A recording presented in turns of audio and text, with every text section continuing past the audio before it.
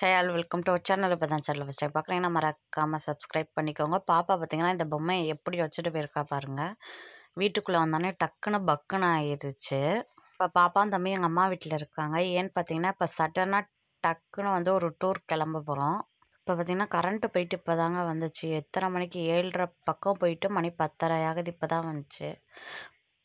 பத்து மணிக்கு வந்துச்சுன்னு நினைக்கிறேன். நான் பார்த்தீங்கன்னா சாமி படமெல்லாம் விளக்கி வச்சதுக்கு பூ போட்டு வச்சாச்சு.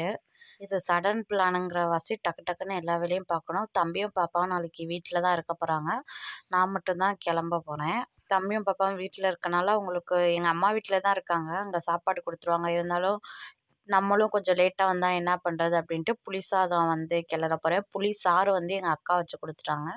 நான் வந்து வெறும் ரைஸ் மட்டும் வச்சு கிளற போகிறேன் எப்படி பிளான் பண்ணியிருந்தோம் பார்த்தீங்கன்னா பிரேக்ஃபாஸ்ட்டு நான் கட்டிட்டு வரேன். லஞ்ச் வந்து எங்கள் அக்கா கட்டிட்டு வரேன்னு சொல்லிட்டாங்க. அதனால் வந்து அவங்க புளி சாதம் கட்டிட்டு வந்தாங்க நான் இட்லியும் ஆஸ் யூஷுவல் தக்காளி தொக்கம் தான் தக்காளி தொக்கு எல்லாம் ரெடி பண்ணி வச்சாச்சு. இட்லி பார்த்திங்கன்னா ஊற்றி வச்சுருக்கேன். இது நான் பக்கத்தில் என்னென்னு பார்த்தீங்கன்னா காலையில் அரைச்ச தக்காளி சட்னி இருக்குது அதை வச்சு நான் இப்போ சாப்பிட்டுட்டு கிச்சன் பாருங்கள் இப்படி தான் இருக்குது. அதுக்கு முன்னாடி சேனலை இப்போ தான் ஃபஸ்ட் பார்க்குறீங்க மறக்காமல் ப்ளீஸ் சப்ஸ்கிரைப் பண்ணிவிட்டு பாருங்கள் இப்போ மேக்ஸிமம் பார்த்தீங்கன்னா எல்லா வேலையும் முடிச்சிட்டேன். கிச்சன் வேலை ஃபுல்லாக முடிச்சாச்சு. பாத்திரத்துலேயும் மாற்றி வச்சுட்டேன் வச்சது எல்லாம். மேலே என்னென்னு பார்த்தீங்கன்னா கொஞ்சம் இட்லி பொடி கொஞ்சம் கலந்து வச்சுருக்கேன். சப்போஸ் தொக்கு பத்தலைன்னா என்ன பண்ணுறது அப்படின்ட்டு இட்லி பொடி கொஞ்சம் கலந்து வச்சுருக்கேன். அப்புறம் வாட்டர் பாட்டிலில் ரெண்டு பாட்டில் தண்ணி ஊற்றி வச்சுருக்கேன். கொஞ்சம் பன்னு இருந்துச்சு அதுவும் எடுத்து வச்சுருக்கேன். அப்புறம் இட்லியை வந்து ரெண்டு அடுக்கில் எடுத்து வச்சுட்டு கொஞ்சம் வந்து கட்டாமல் கொஞ்சம் காத்தோட்டமாக வச்சு வச்சுருக்கேன். நல்லா மூடாமல் போகிறப்ப எடுத்து வச்சுக்கலான்ட்டு வச்சுருக்கேன். அப்புறம் இது என்னென்னு பார்த்தீங்கன்னா காலையில் காஃபி போடுறதுக்கு எழுந்தோடனே காஃபி குடித்தா தான் வேலையாகும். அதனால் வந்து காஃபி போடுறதுக்கு பால் இருக்குது இல்லை தயிர் ஊற்றி வச்சுருக்கேன். அப்புறம் பு புளி சாதம் கிளறின கிளறி வச்சது இருக்குது அப்புறம் தக்காளி தொக்கு கொஞ்சம் கிளறி வச்சது வச்சுருக்கேன். ஏன்னா பாப்பாவும் தம்பி வீட்டில் இருக்கனால சப்போஸ் இங்கே வந்தாங்கன்னா சாப்பிட்றதுக்கு ஏதாச்சும் வேணும்ல. அதனால் வந்து கிளறி வச்சு வச்சுருக்கேன். எல்லாம் கட்டி வச்சுட்டு ஃபுல் கிச்சனும் க்ளீன் பண்ணி முடித்து நாளைக்கு லஞ்சுக்கும் வந்து கட்டி வச்சுருக்கேன். போகிறப்பையும் வேலை வந்தும் வேலை இருக்குங்க. ஆமாவா இல்லையான்னு கீழே கமெண்ட்டில் சொல்லுங்கள் இப்போ பார்த்தீங்கன்னா கிச்சன் ஃபுல்லாக க்ளீன் பண்ணி முடிச்சாச்சு. ரூமும் க்ளீன் பண்ணி வச்சுட்டேன். இப்போ எல்லாம் தூங்கிட்டுருக்காங்க இன்னும் ஹால் மட்டும் க்ளீன் பண்ணி முடிக்கணும். உள்ள சவுண்டில் பார்த்தீங்கன்னா நாய் குலைக்கிற சவுண்டில் இந்த பொம்மையை பார்த்தாலுமே பயமாக இருக்குது. இப்போ ரூமும் ஹாலும் கூட்டி விட்டு கழுவி விட்டுட்டேன். லைட்டாக இங்கே ஈஸியாக தண்ணி போயிடும் கழுவி விட்டுட்டு தொடச்சிட்டு ஃபேனை போட்டுவிட்டேன் டக்குன்னு காஞ்சிடும் அப்புறம் காலைல எடுத்து வைக்கிறதுக்கு பை எடுத்து வச்சுருக்கேன். காலைல எந்திரிச்சோடனே குளித்து கிளம்பியாச்சு. மணி பார்த்திங்கன்னா ரெண்டே முக்கால் தான் ஆகுது. நாலு மணிக்கு வேன் வந்துடும்னாங்க சரி கொஞ்சம் போகிறப்ப அவசர அவசரமாக விளக்கணைக்க வேணான்ட்டு கொஞ்சம் சீக்கிரமாகவே விளக்கேற்றி வச்சாச்சு. இன்றைக்கி வந்து படைக்கிறதுக்கு வந்து ஒன்றும் இல்லைனாலும் ஒரு சாத்துக்குடி மட்டும் வச்சு வச்சுருக்கேன். வீட்லேயும் சுத்தமாக பழமும் இல்லை ஒரு சாத்துக்குடி மட்டும்தான் இருந்துச்சு. சரி அதை மட்டும் வச்சு சாமிக்கு வச்சு சாமி கும்பிட்டு போயாச்சு கோயிலுக்கு. இப்போ பார்த்திங்கன்னா வீடு இப்படி தான் இருக்குது. நல்லா ஃபுல்லாக க்ளீன் பண்ணி வச்சுட்டு போனால் தான் வந்து கொஞ்சம் டயர்டாக இருந்தாலும் நமக்கு வந்து ஒரு ஒரு நாள் படுத்து எந்திரிக்கிறதுக்கு கரெக்டாக இருக்கும்.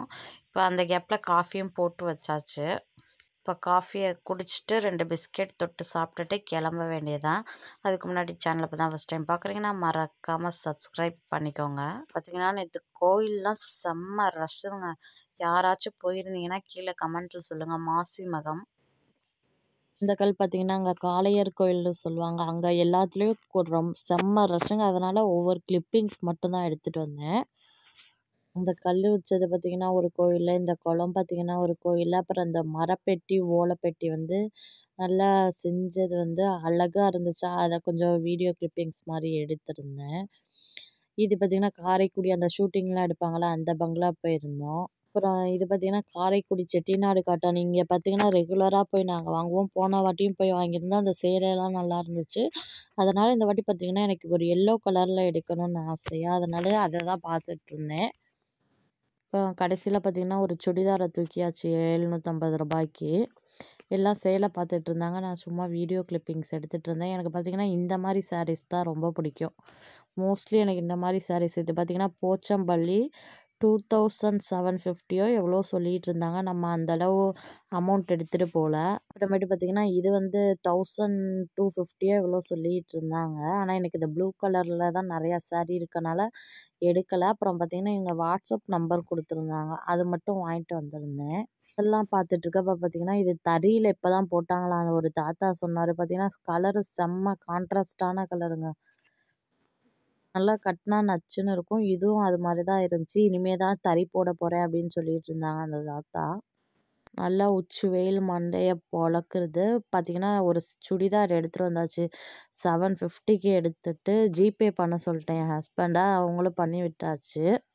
ஏன்னா அமௌண்ட்டை பார்த்திங்கன்னா நான் கம்மியாக தான் எடுத்துகிட்டு போயிருந்தேன். சேலை வாங்குகிற பிளானே கிடையாது. தௌசண்ட் ருபீஸ்க்கு ஜிபே பண்ண சொல்லிவிட்டு செவன் ஃபிஃப்டி வந்து சுடிதார் சொல்லியிருந்தாங்க. அதுக்கப்புறம் வந்து ஒரு முந்நூறுபாய்க்கு ஒரு ஓலைப்பெட்டி வாங்கிட்டு வந்திருந்தோம். இது பார்த்தீங்கன்னா குன்னக்குடி கோயில் போயிட்டு அது பக்கத்தில் இருக்க அந்த குபேரர் கோயில் போயிருந்தோம். மீனில் வந்து காசை போட்டு வேஸ்ட்டாக்கி வச்சுருந்தாங்க. இது பார்த்திங்கன்னா இந்த மாசி மகம் விளக்கெடுக்கிற கோயில் சொல்லுவாங்க. அதில் பார்த்திங்கன்னா செம்ம ரஷ்ஷுங்க இது பார்த்திங்கன்னா விலைக்கு ஏற்றி வச்சுருந்தாங்க. நானும் விளக்கேற்றுனதெல்லாம் பார்த்துட்டு சாமி மனசார கும்பிட்டு வந்தாச்சு. இந்த வீடியோ பிடிச்சிருந்தா லைக் பண்ணுங்கள் மறக்காமல் சப்ஸ்கிரைப் பண்ணிக்கோங்க.